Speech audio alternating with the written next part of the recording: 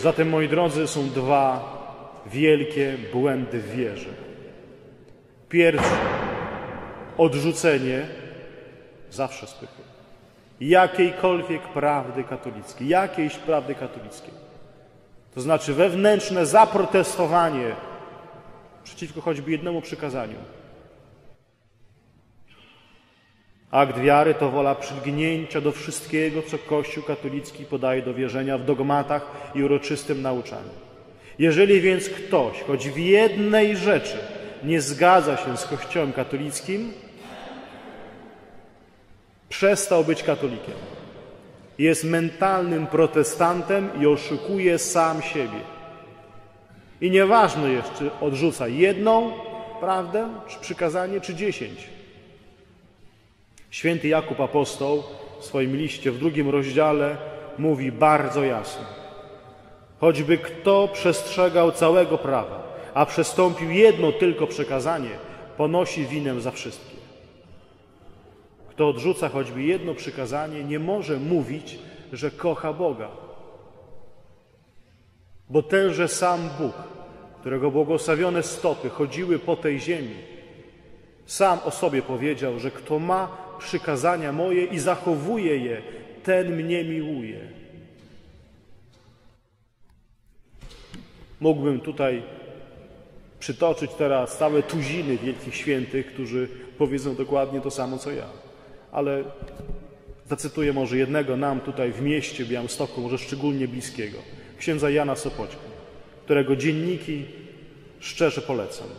Pod datą 14 sierpnia 1965 roku zapisał: Niewiara nie powstaje z rozważań, ale z niezachowywania przykazań, z których jeśli choć jedno koliduje z naszymi zachciankami, wolimy, by nie było tego, który takie przykazanie wydał.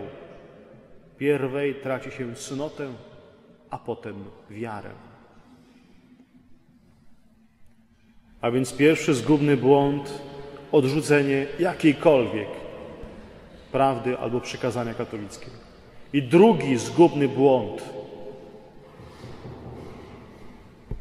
uważanie, że wiara to osobiste, subiektywne i wewnętrzne doświadczenie Boga.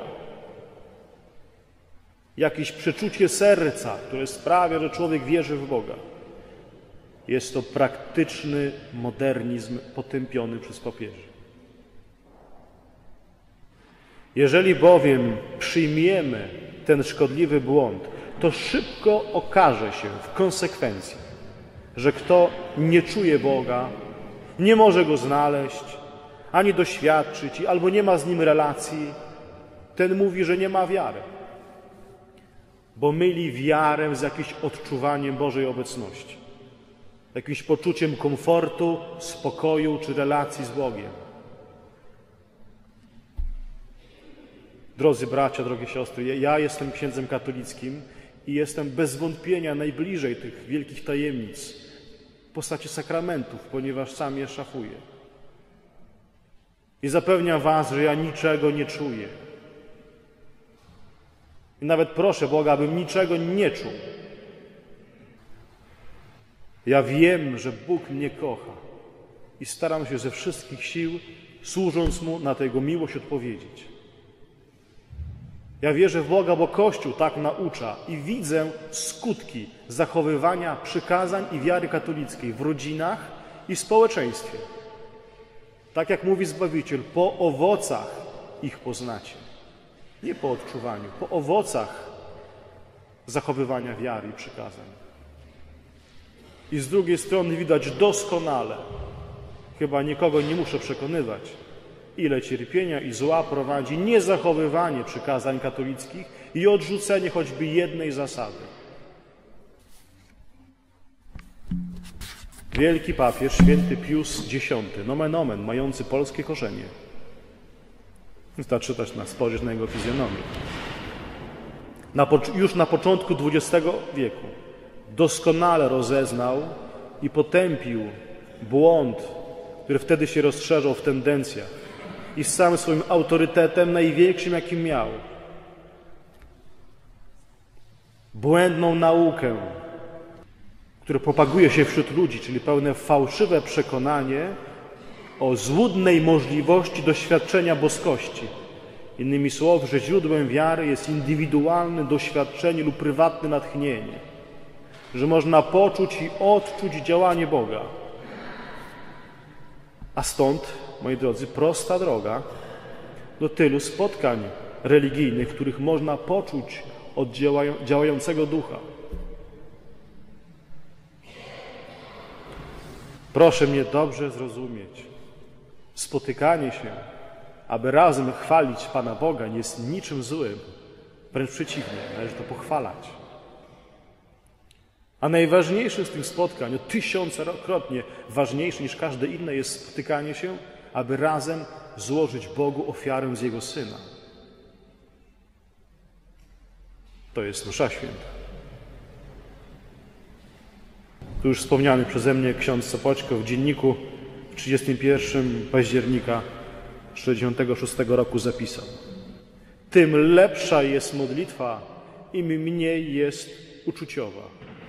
Gdy Bóg odejmie modlitwę uczuciową, jest to znak, by dusza porzuciła swoje wysilenia, a zwróciła się ku Bogu. I nie trzeba szukać nawet najmniejszej pociechy u stworzeń. Czy zatem uczucia, które są częścią ludzkiej natury, są kompletnie niepotrzebne? W zasadzie tak.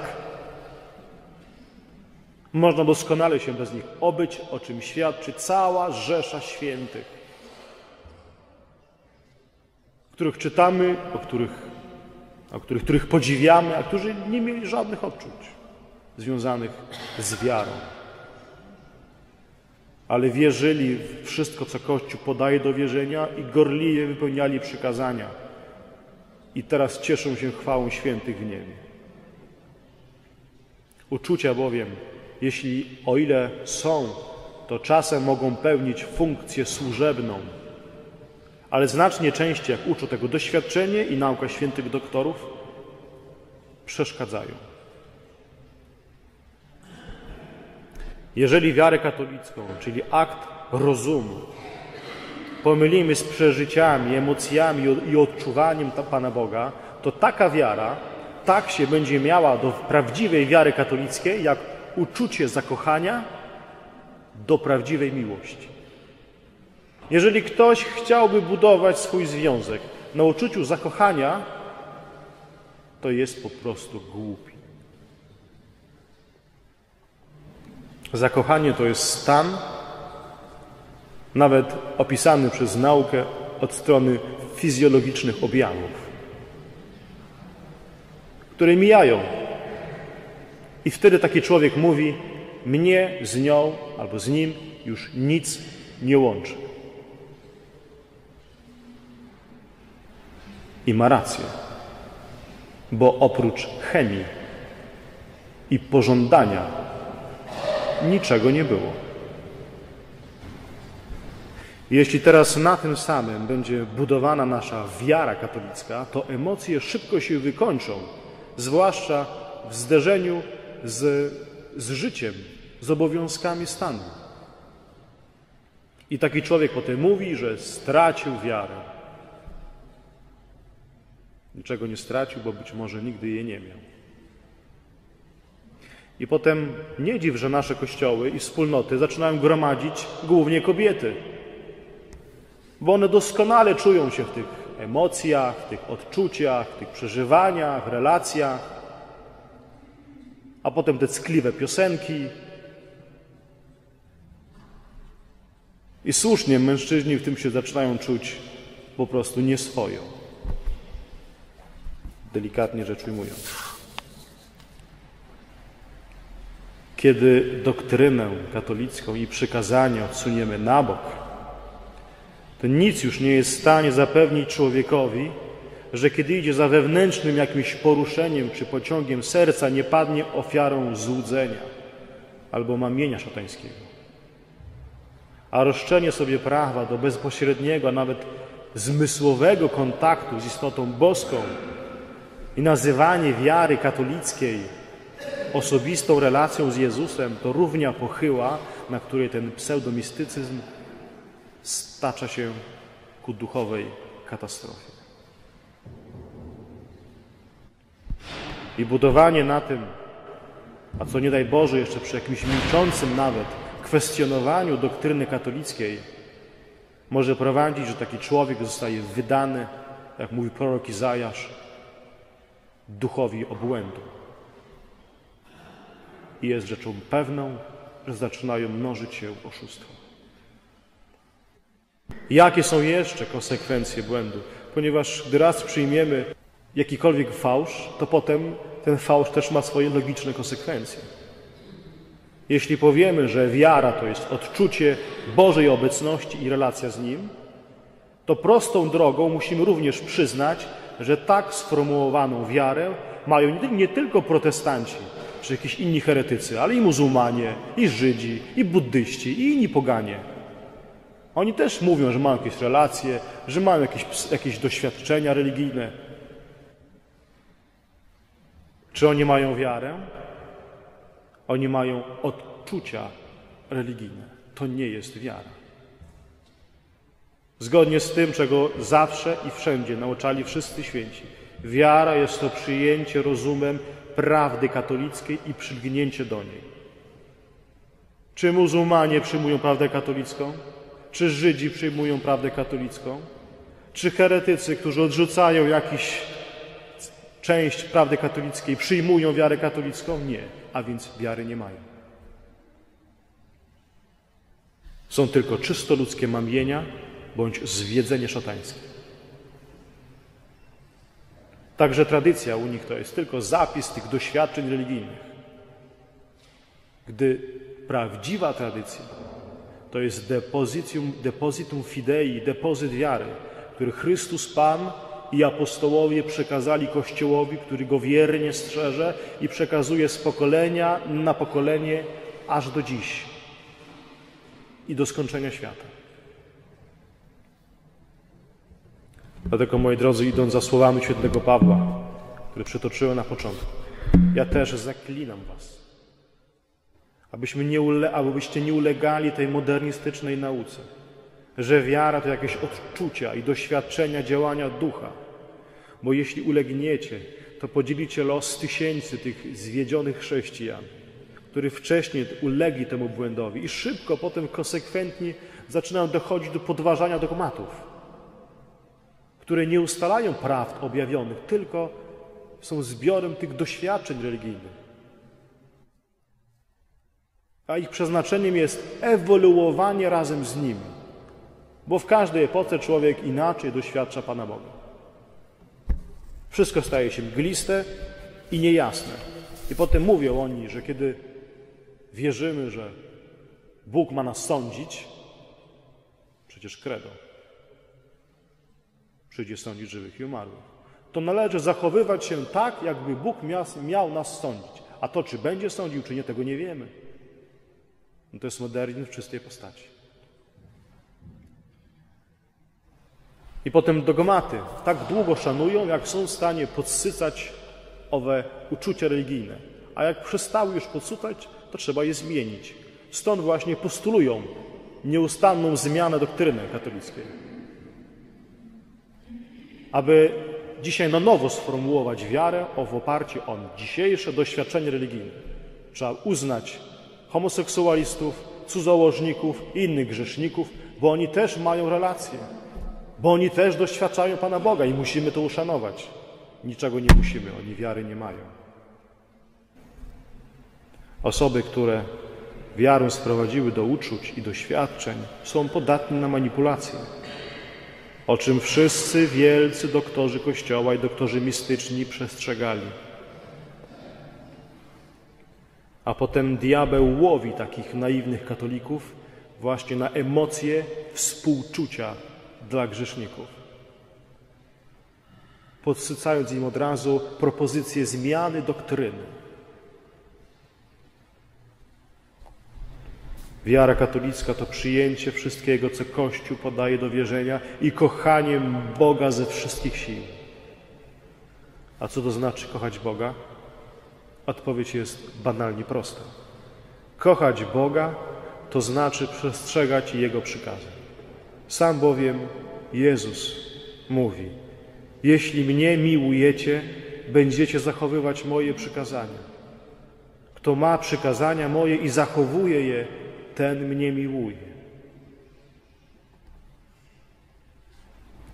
Te zdania jak refren powtarza się w Ewangelii. I święty Jan, ewangelista, umiłowany uczeń pański. Jeśli umiłowany, to znaczy, że ten, który najlepiej pojął przesłanie mistrza w swoim pierwszym liście, uczy, kto wypełnia jego przykazania, trwa w Bogu, a Bóg w nim. A to, że trwa on w nas, poznajemy po duchu, którego nam dał. Kiedy wiara jest żywa? Mówimy, mieć żywą wiarę. Co to znaczy mieć żywą wiarę? Przyjmować całe nauczanie katolickie. Rozumiem. Trwać w łasce uświęcającej, którą nieustannie podsycamy przyjmowaniem sakramentów, zwłaszcza świętej Eucharystii, Komunii Świętej. I gorliwe wypełnianie przykazań, zwłaszcza w obowiązkach swego stanu. To jest żywa wiara. Nieustanne doskonalenie swoich cnót, tych przyrodzonych i nadprzyrodzonych. To jest żywa wiara. A co to jest martwa wiara? Martwa wiara jest wtedy, jeżeli ktoś przyjmuje całą prawdę katolicką, ale trwa w grzechu. Nie ma w nim łaski. Nie ma w nim łaski albo nie daje owoców w postaci uczynków. Wiara bez uczynków jest martwa, jak uczy święty Jakub. Nie czyni dobra, albo czyni grzech, albo nie czyni dobra, czyli grzeszy zaniedbaniem. Taka jest wiara katolicka, uczy święty Atanas. Jeśli jej kto całej i nienaruszonej nie zachowa, niechybnie zginie na wieki. I na koniec, moi drodzy, niech Matka Boża, ta przewodniczka w Adwencie, nauczycielka wiary, ustrzeże nas od błędów i pozwoli wytrwać świętej katolickiej wierze aż do śmierci. Amen.